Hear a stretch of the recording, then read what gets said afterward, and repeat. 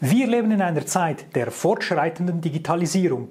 Neue Technologien kommen schneller, als sich das viele bewusst sind. Das fängt mit der Blockchain-Technologie an, geht über künstliche Intelligenz, führt über Virtual und Augmented Reality bis hin zu Big Data und Cloud Computing. Diese Veränderungen sind bereits heute spürbar und werden es in Zukunft immer mehr sein. Und so solltest du auch dir überlegen, weshalb es bereits heute Sinn macht, dich mit diesem Thema der Digitalisierung zu beschäftigen. In diesem Video möchte ich dir zeigen, was es dir bringt, wenn du dich jetzt schon damit beschäftigst, welche Vorteile es dir bringt und vor allem, welche Chancen du verpasst, wenn du es nicht machst. Bist du bereit? Los geht's!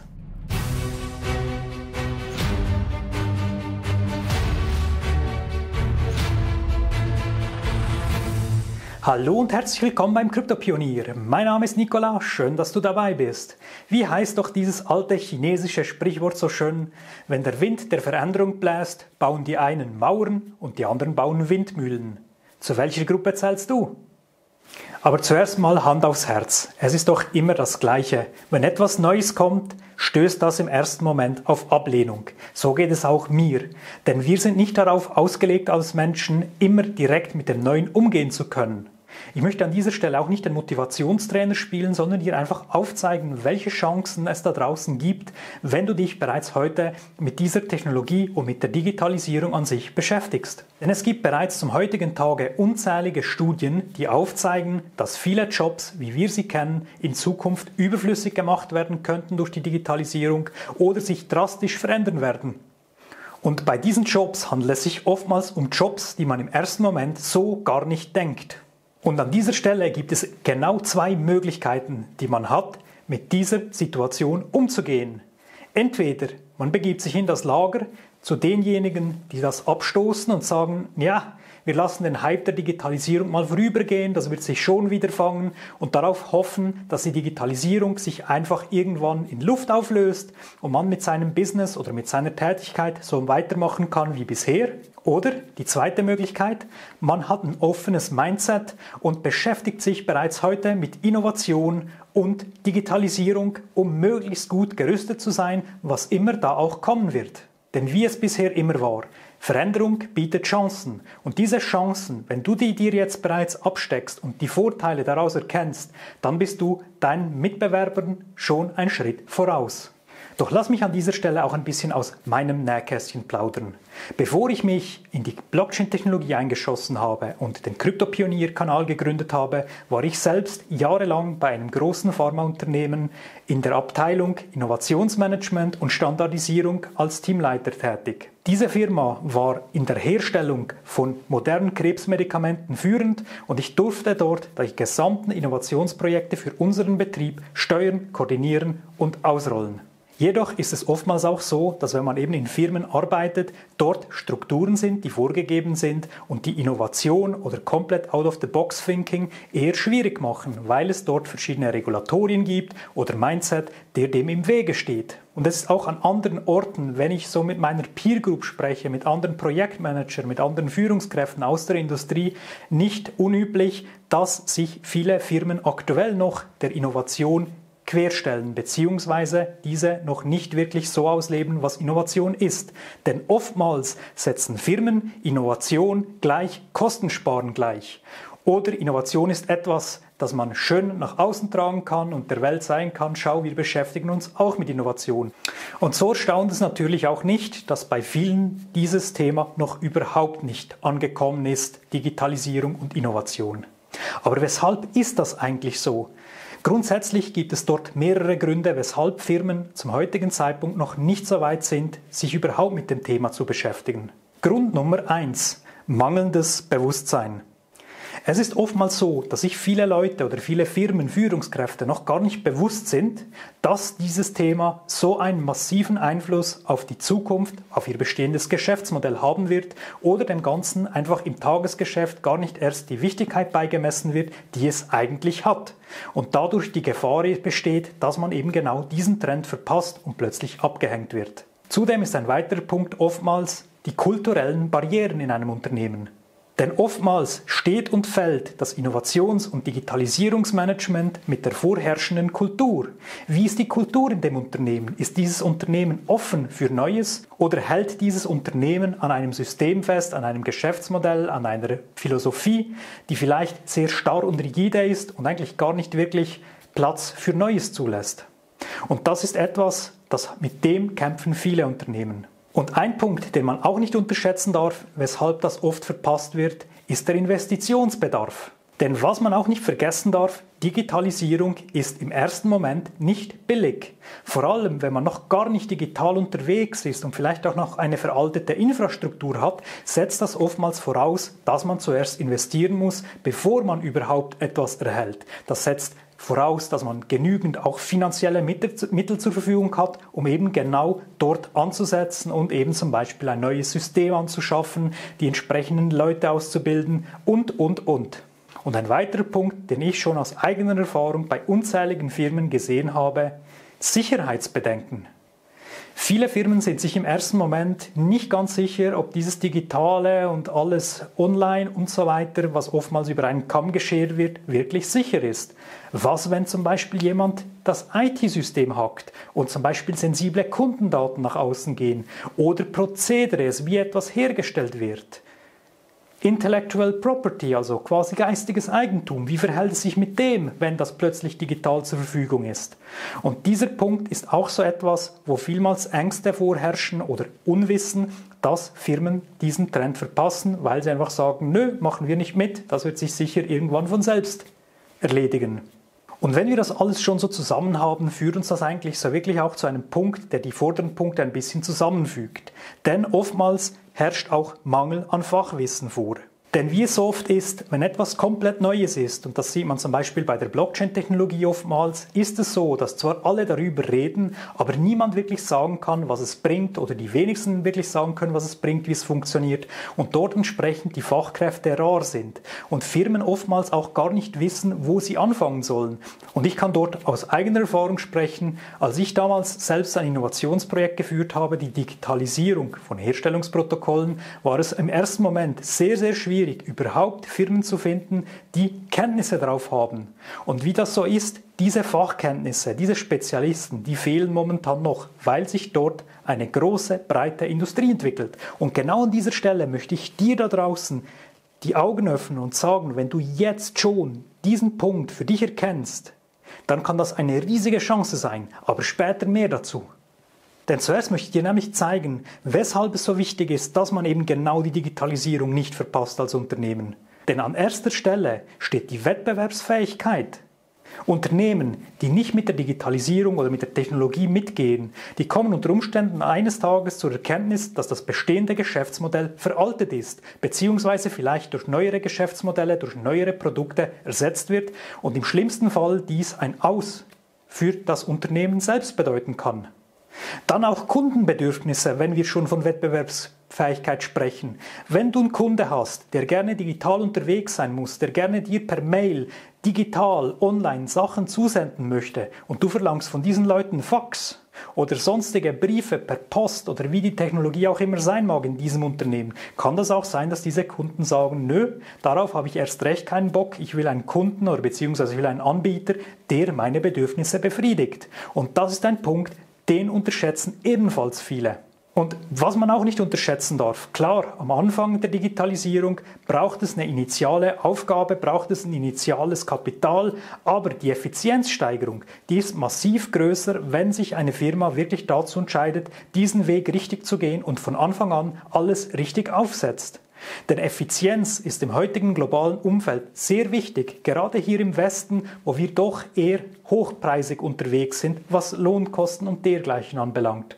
Und ein weiterer Punkt ist natürlich das Innovationspotenzial. Man darf nie vergessen, aus Innovation entsteht Innovation. Wenn mal das Mindset reingeholt wurde, die Leute erkennen, dass durch eine Innovation etwas besser, schneller wird, wird oftmals eine ganze Kette von Abfolgen in Bewegung gesetzt, die eine weitere und weitere Verbesserung ermöglichen kann und dadurch eigentlich auch neue Ideen, neue Gedanken, neue brauchbare Konzepte plötzlich machbar oder realisierbar machen lassen. Und der letzte Punkt, der Arbeitsplatz der Zukunft. Als Unternehmen, die entsprechend digital sind, das kennt man ja selbst, ist es ja so, dass man dort gerne arbeitet, dass die Spezialisten gerne zu einem kommen. Denn wenn man zum Beispiel, nehmen wir das beste Beispiel seit der Pandemie, Homeoffice. Für manche ein Fluch, für manche ein Segen.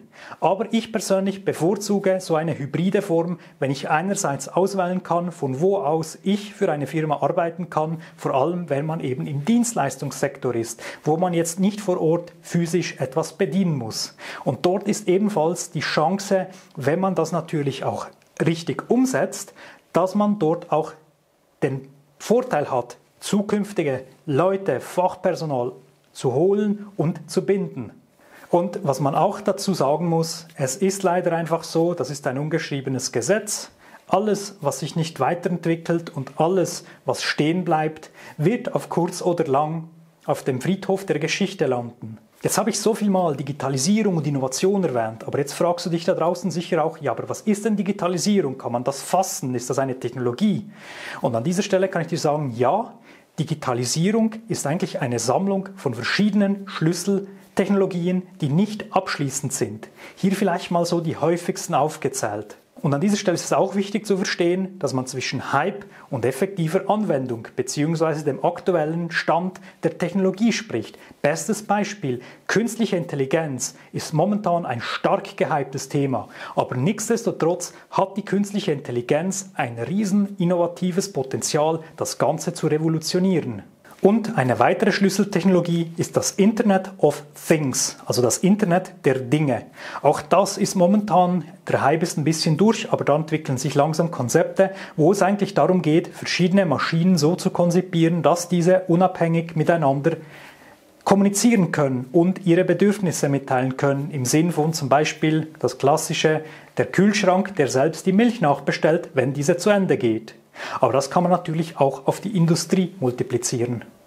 Dann auch das ganze Cloud Computing, was mittlerweile eigentlich auch schon ein guter Standard ist in der Digitalisierung. Früher war Cloud Computing auch so etwas, niemand versteht die Cloud, aber heutzutage gehört das eigentlich zum Businessmodell eines modernen Unternehmens dazu, also dass gewisse Daten auf Cloud-Servern ausgelagert sind und nicht mehr die ganze Infrastruktur in der Firma ist.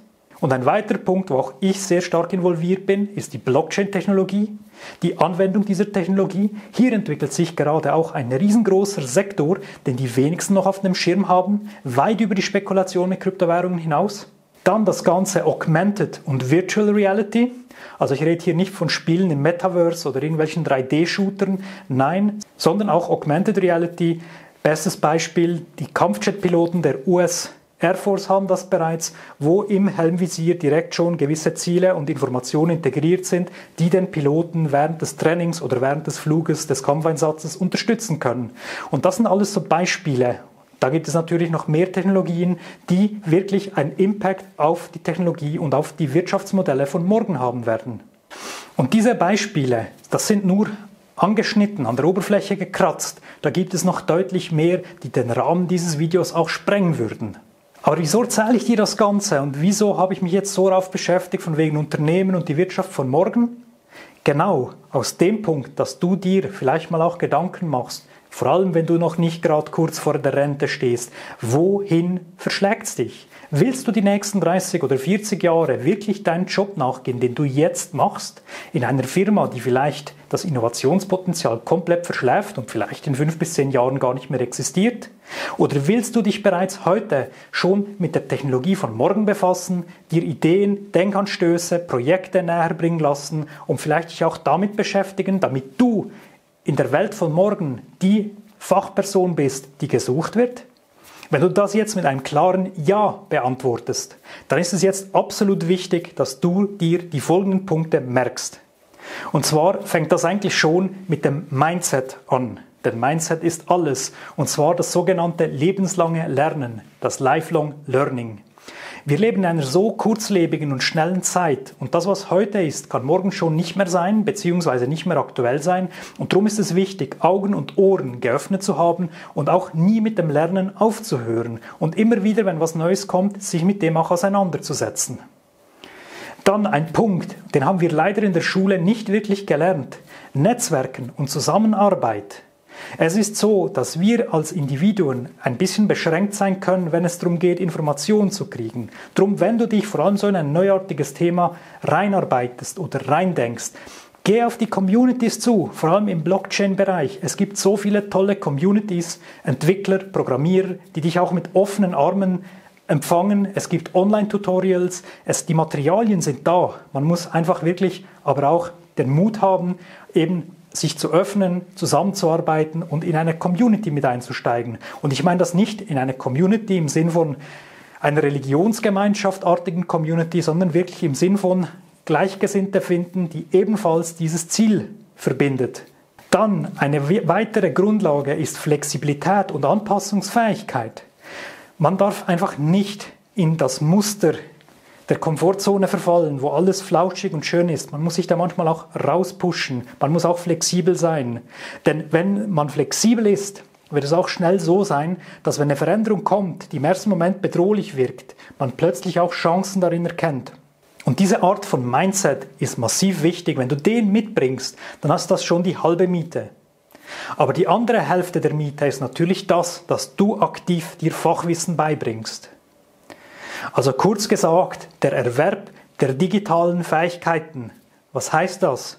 Dass du dich mit der Materie auseinandersetzt. Wenn wir jetzt zum Beispiel im Blockchain-Sektor sind, dass du weißt, was ist eine Blockchain, wie funktioniert eine Blockchain, wie verhält es sich mit der Kryptographie und nicht, welcher Coin wird morgen das hundertfache an Wert haben, sondern wirklich mit den Basics der Materie. Oder dass du lernst, was ist ein Quellcode, wie geht Programmieren, solche Dinge, dass du, du musst nicht ein Spezialist werden, aber dass du doch, sagen wir mal, in die Tiefe tauchst, um dir die Fachbegriffe, die Fachkenntnis ein bisschen anzueignen. Und auch dort ist es so, dass es heutzutage nicht ein fünfjähriges Studium sein wird. Es gibt viele spezifische Kurse, die online frei verfügbar sind. Und wenn es um den Bereich Blockchain geht, dann lass mich dich doch auf diesem Weg begleiten, denn der Krypto-Pionier-Kanal bietet dir eben genau Grundlagen zur Blockchain-Technologie, spannende Projekte, Interviews mit Experten aus der Blockchain-Industrie, die weit über die Anwendung von Kryptowährungen und die Spekulation mit dergleichen hinausgehen. Denn ich selbst bin davon überzeugt, dass die Blockchain ebenfalls ein elementarer Bestandteil der Digitalisierung, der Geschäftsmodelle von morgen sein wird und darum es wichtig ist, sich bereits heute damit zu befassen, damit man bereit ist. Und wenn auch dich diese Punkte interessieren, dann lass mir doch jetzt noch ein Abo da, drück die Glocke, um auch in Zukunft keine Videos, Beiträge und Interviews mehr zu verpassen. Und schau dir auch noch diese Videos an. Wir sehen uns im nächsten Video. Viel Erfolg und bleib neugierig.